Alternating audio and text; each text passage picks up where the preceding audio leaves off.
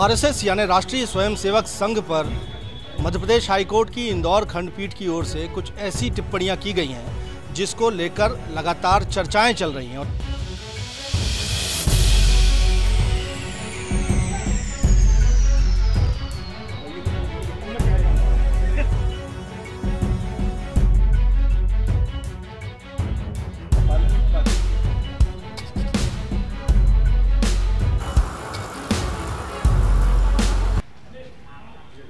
RSS यानी राष्ट्रीय स्वयंसेवक संघ पर मध्य प्रदेश हाईकोर्ट की इंदौर खंडपीठ की ओर से कुछ ऐसी टिप्पणियाँ की गई हैं, जिसको लेकर लगातार चर्चाएँ चल रही हैं। और इस वक्त हमारे साथ सीनियर एडवोकेट, सुप्रीम कोर्ट के, कांग्रेस के राज्यसभा सांसद विवेक तनखा जी हैं और उनसे हम बातचीत करेंगे।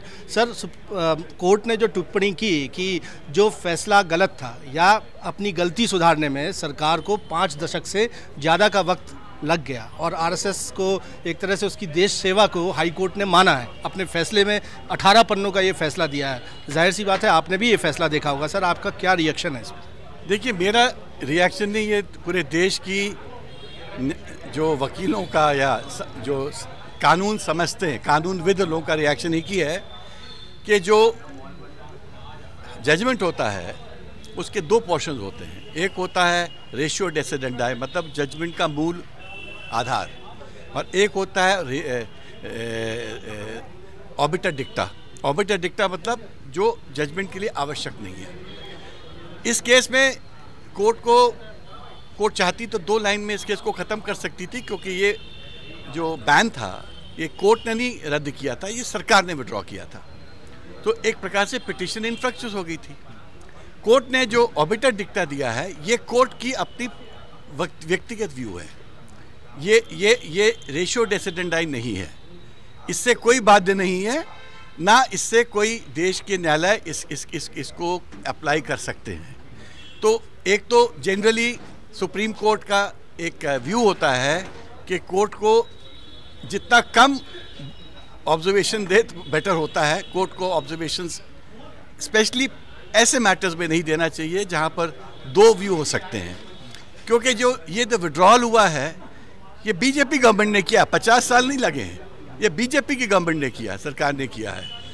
अभी तक की जितनी सरकारें थी इंक्लूडिंग अटल बिहारी वाजपेयी देवी गोंडा गुजराल हम अपनी कांग्रेस की तो बात ही नहीं कर रहे वो तो थी।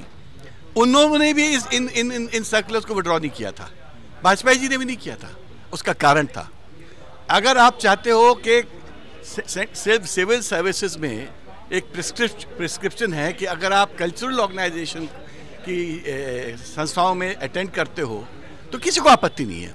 आप रोटरी क्लब में जाओ लायंस क्लब में जाओ यूनिवर्सिटी में जाओ कॉलेज में जाओ स्कूल में जाओ, अस्पताल जाओ, कौन आपत्ति करता है?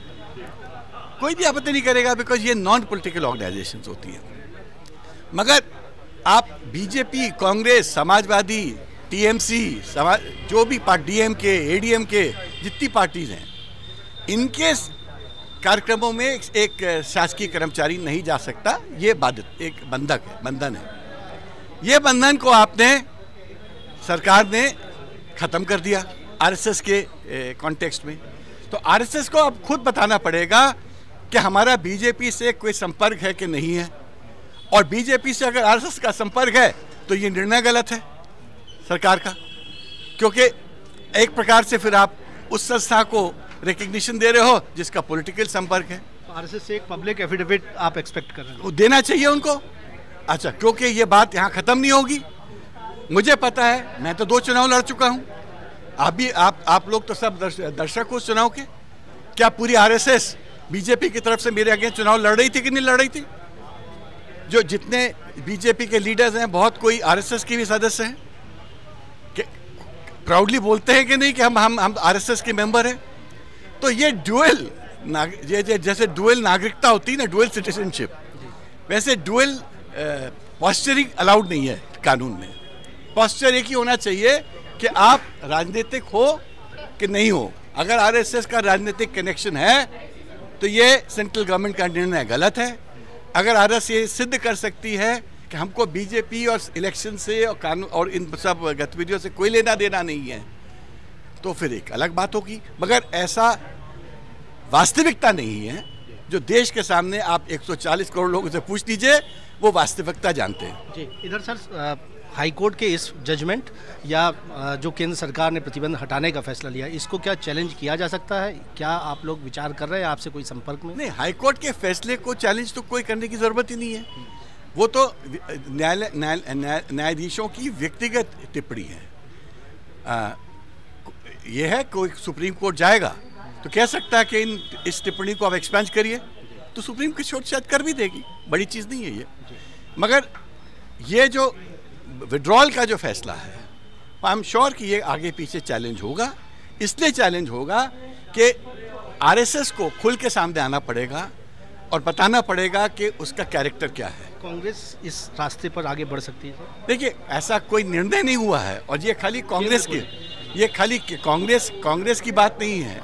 ये देश की परंपराओं और कानून विदों की बात है। और परंपरा तो ये थी कि एक गवर्नमेंट सर्वेंट एक शासकीय सर्विस में जो रहता है, वो पॉलिटिकल एक्टिविटीज़ का हिस्सा नहीं बन सकता। और यही संविधान में लिखा है, ये कानून में लिखा है, और कोई भी कोर्ट हो कोई भी कचहरी हो वो इससे दूर भाग नहीं सकती। जी जी। सर ला, लास्ट सवाल कि ये जो केंद्र सरकार ने जिस तरह से प्रतिबंध हटाया इसको लेकर क्या मंथन चल रहा है पार्टी स्तर पर इसको चैलेंज करने के नहीं अब मंथन किस स्तर पे हो रहा है मेरे को मेरे को जानकारी नहीं है क्योंकि मैं तो यहाँ हूँ। बट मैं एज एज अ कानूनविद मेरे मन में मंथन है मेरे मन में एक संघर्ष चल रहा है और ऑफ़ कोर्स ये बातें सबके बीच में आएँगी उठेंगी क्योंकि मैंने देखा एक एक चर्चा का विषय था ये कि क्या सरकार को ऐसा करना था। जो हाई कोर्ट का जो ऑबिटर है उसको खाली प्ले अप किया गया है। जान जान के उठाया गया है क्योंकि सरकार उस ऑबिटर के पीछे छुपना चाहती है।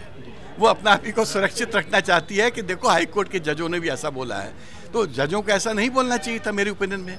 और दूसरा मैंने तो परसों पार्लियामेंट में बोला है। हम लोग को बड़ी चिंता बढ़ गई है जुडिशरी में और हम इस पूरे महकमे में कि जजेस रिटायरमेंट के बाद पॉलिटिकल पार्टी ज्वाइन कर लेते हैं। चाहे वो कांग्रेस हो या बीजेपी हो, अगर आप पॉलिटिकल पार्टी ज्वाइन कर लोगे तो आप इस इंस्टीट्यूशन की विश्वसनीयता को ख़त्म कर रहे हो। लोग कैसे ट्रस्ट करेंगे इस इंस्टीट्यूशन को? कल तक आप फैसला दे रहे हो और आज जाके आप पॉलिटिकल पार्टी ज्वाइन कर लेते हो या पॉलिटिकल स्टेटमेंट देने लगते हो।